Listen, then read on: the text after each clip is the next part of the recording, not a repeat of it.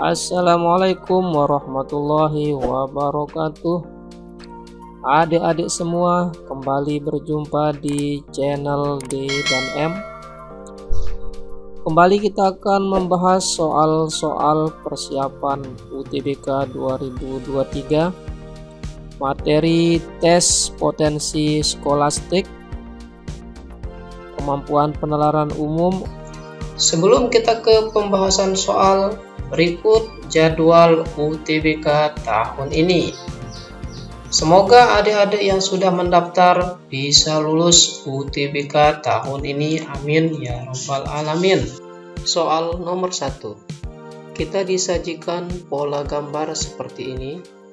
Kemudian kita disuruh melengkapi gambar yang kosong. Cara menjawabnya adalah dengan memperhatikan pola gambar yang sudah diberikan. Untuk soal seperti ini, biasanya yang kita lakukan hanya dengan memutar gambar saja. Kita coba putar gambar pola yang pertama.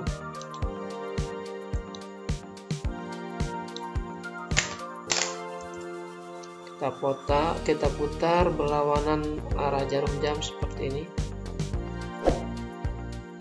ini kita sudah dapatkan pola gambar yang terakhir seperti ini sudah sama. Jadi kita sudah putar tadi. Maka cara seperti ini kita akan ulang untuk pola berikutnya.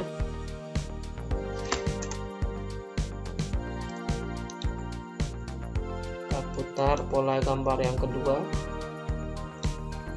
Sama seperti tadi satu kali saja. Oke ini ketemu sama kemudian pola gambar yang terakhir kita putar sama juga. Seperti tadi.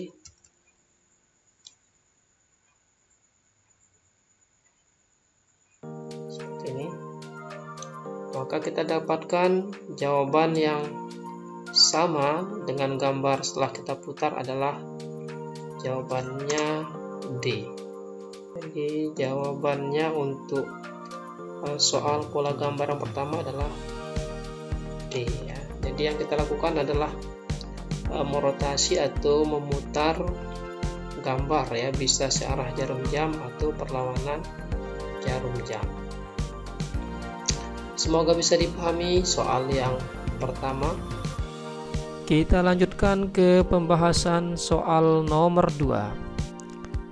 Kembali di soal nomor 2 kita diberikan pola gambar di mana kembali kita akan mengisi gambar yang kosong dengan uh, dua pola sebagai contoh.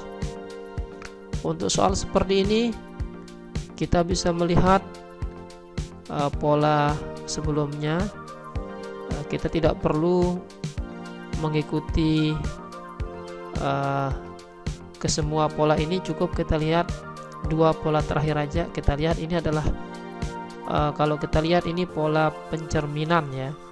Pola pencerminan ini juga pola pencerminan maka otomatis ini juga pola pencerminan ya. Kita coba cerminkan ya. Kita coba cerminkan yang ini. Oke kita coba cerminkan seperti ini. Nah kita dapatkan pola yang sama. Seperti ini pencerminannya. Kemudian kita sekarang kita coba ke pola berikutnya. Yang kedua kita cerminkan juga. Kalau pencerminan kan uh, pasti berhadapan dan berlawanan arah ya. Kita coba yang ini kita cerminkan juga. Seperti ini kita cermin ini cerminnya maka kita dapatkan gambar yang sama. Nah berarti pola yang ketiga ini adalah hasil pencerminan juga. Ya. Kita lihat yang ini. Oke ini kita cerminkan juga. Nah ini adalah hasil pencerminannya. Kita cocokkan dengan pilihan maka kita dapatkan jawaban yang benar adalah Jadi jawaban yang benar untuk soal nomor 2 adalah A. Jadi dua soal pembahasan kita ini uh, cara menjawabnya adalah cukup dengan uh, merotasi atau mencerminkan ya, bisa mencerminkan atau juga merotasi uh, pola yang diberikan. Semoga bisa dipahami soal nomor 2. Kita lanjutkan ke soal nomor 3.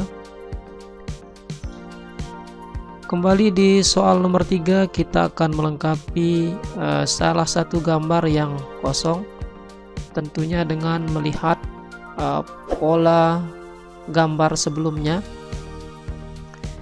Kita akan melihat dulu dua pola yang diberikan. Kita lihat. Pola yang pertama ada satu garis di tengah kemudian bergeser ke kanan kemudian ke kiri. Kemudian uh, pola berikutnya uh, ada dua garis. Dua garis ini yang posisinya berbeda-beda. Ada yang di kanan kemudian di kiri dan di tengah.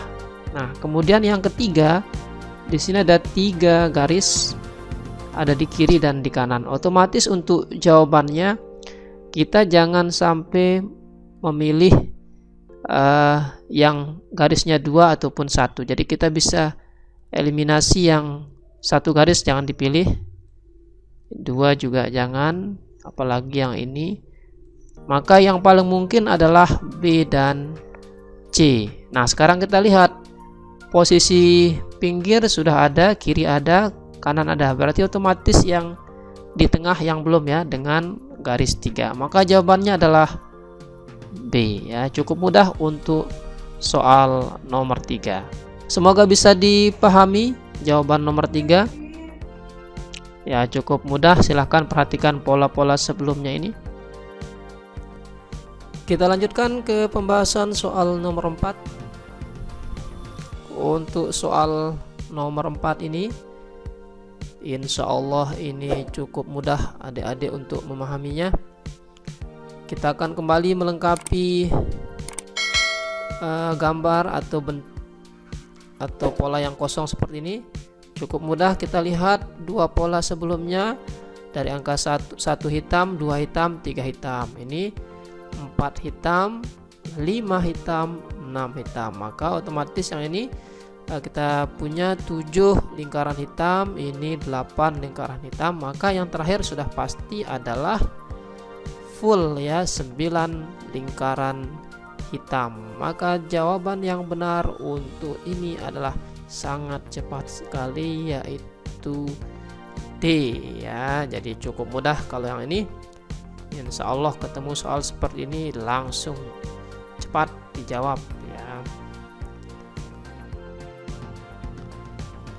Kita lanjut ke soal nomor 5. Untuk soal nomor 5, kembali kita akan melengkapi satu gambar yang harus kita temukan polanya dengan melihat dua pola sebelumnya. Kita lihat di pola pertama ada bangun dengan 2, 3, 4, 5 sisi kemudian ada 6 sisi dan 4 sisi ya. Kemudian di sini ada segitiga kecil atau kakinya ada 3, 2, 4 nah di sini pun untuk bangunnya tidak berubah ya hanya bergeser saja. Dengan kaki juga sama ada yang 3, ada yang 4, ada yang 2 nah maka otomatis untuk gambar yang akan kita cari ini tentunya kita akan melihat gambar atau bangun yang ada di atas adalah kita lihat di sini ada sisi 6 sudah ada, sisi 4 sudah ada, berarti yang belum adalah sisi 5. Maka kita ambil yang sisi 5, oke, ini bisa sisi 5-nya. Ini bisa sisi 5. Kemudian kaki yang belum ada, di sini sudah ada uh, 2 4. Berarti yang belum adalah yang 3. Jadi jawaban yang tepat adalah D ya cukup mudah juga untuk soal nomor 5 dan untuk uh, mengetes uh, pemahaman adik-adik tentang beberapa uh, pembahasan soal tadi maka silahkan coba dijawab uh, pertanyaan atau nomor 6 tulis uh, jawaban di kolom komentar ya. Silahkan diperhatikan uh, 5 pilihan yang diberikan ya terima kasih sudah menonton channel ini jangan lupa subscribe like komen dan share Semoga bisa dipahami dan bermanfaat pada saat UTBK nanti. Jumpa lagi di video berikutnya. Assalamualaikum warahmatullahi wabarakatuh.